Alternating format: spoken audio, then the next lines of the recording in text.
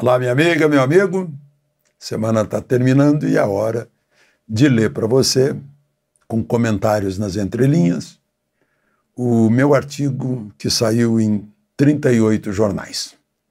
E fazendo, ao longo da leitura, atualizações e observações. Já estamos passando de 2 milhões e 600 mil. Inscreva-se, junte-se a nós se você ainda não fez isso. E ao final, ó, o gostei ou não gostei. Então, vamos à leitura com observações nas entrelinhas.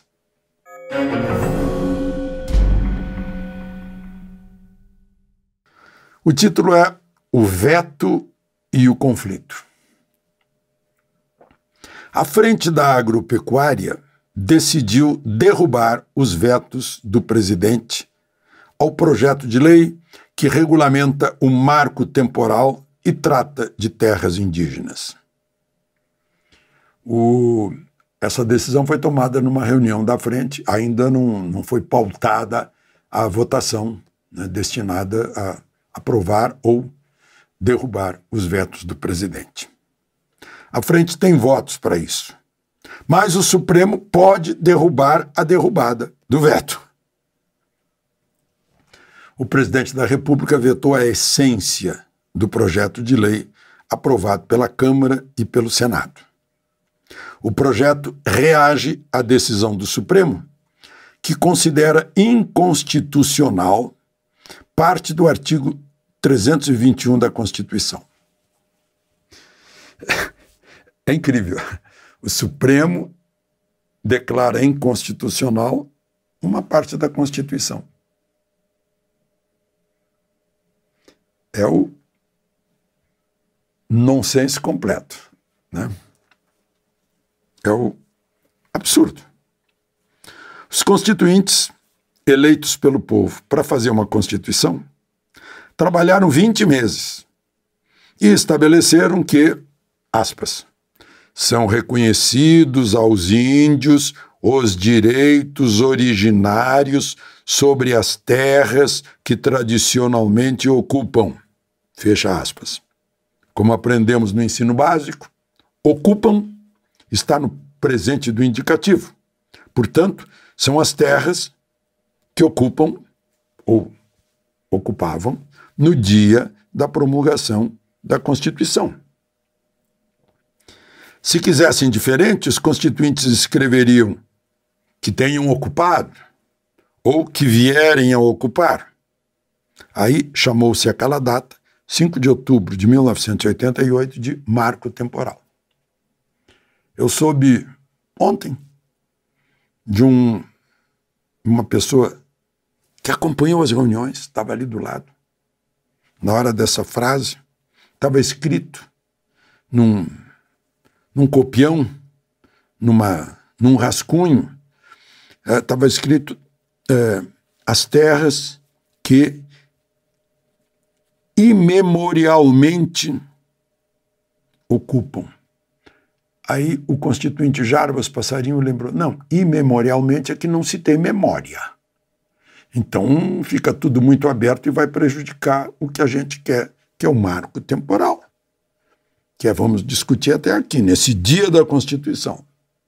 Aí foi o debate, todo mundo concordou em escrever que tradicionalmente ocupa, para não ensejar uma interpretação diferente, que o Supremo fez. A intenção dos constituintes era de decidir conflitos de terra com base na situação naquela data estabelecendo-se uma segurança jurídica e sua consequente paz no campo. O projeto de lei é que tenta, digamos, regulamentar isso para repor a consistência do que os constituintes decidiram. Está lá escrito que se houver, né, em outras palavras, se houver uma, uma dúvida sobre a posse da terra, vai se verificar no dia 5 de outubro de 88 quem estava nessa terra. Estava ilegalmente? Se estava ilegalmente, cai fora. Se estava tradicionalmente, fica lá. Tinha presença indígena, lá está aqui a comprovação, não. Os indígenas podem comprovar que estavam lá nesse dia. O produtor de soja pode comprovar pelas notas, endereço, pagamento de contas que estava lá nesse dia. Não? Bom, é, essa intenção foi derrubada pelo Supremo e reerguida pelo projeto de lei, que foi vetado pelo presidente. E aí o efeito agora é o oposto do pretendido pelos constituintes de 88. Insegurança fundiária e risco de conflitos por todo o país.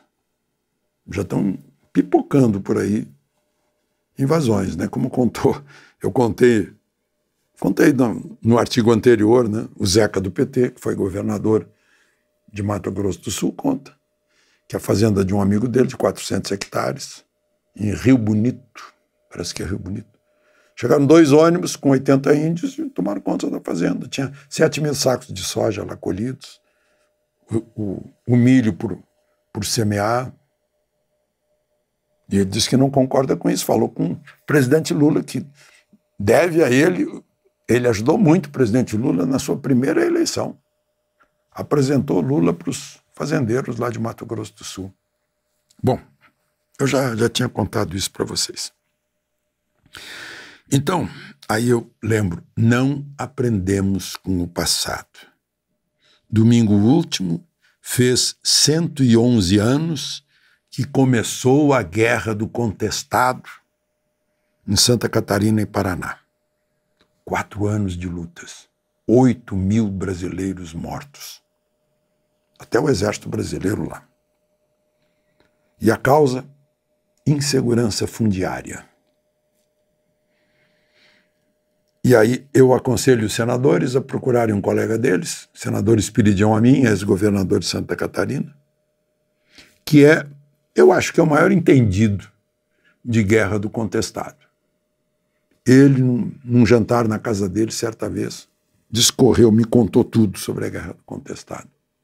Envolveu tudo: é, lideranças religiosas, é, é, discussão de terra, construção de ferrovia, disputa para usar madeira.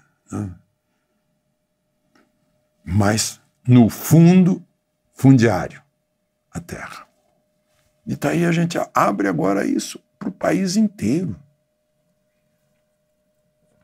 Voltou o imemorial. Para derrubar veto é preciso maioria absoluta, isto é, metade mais um da Câmara, que dá 257 votos. E do Senado, 41 votos. Um pouquinho mais da metade. À frente da agro Pecuária conta com 303 deputados e 51 senadores, ou seja, dá e sobra. Mas os perdedores podem recorrer ao Supremo. Olhem só o que aconteceu em 2015. Dilma vetou a lei do comprovante impresso do voto. Mais 368 deputados e 56 senadores 71% do Congresso derrubaram o veto.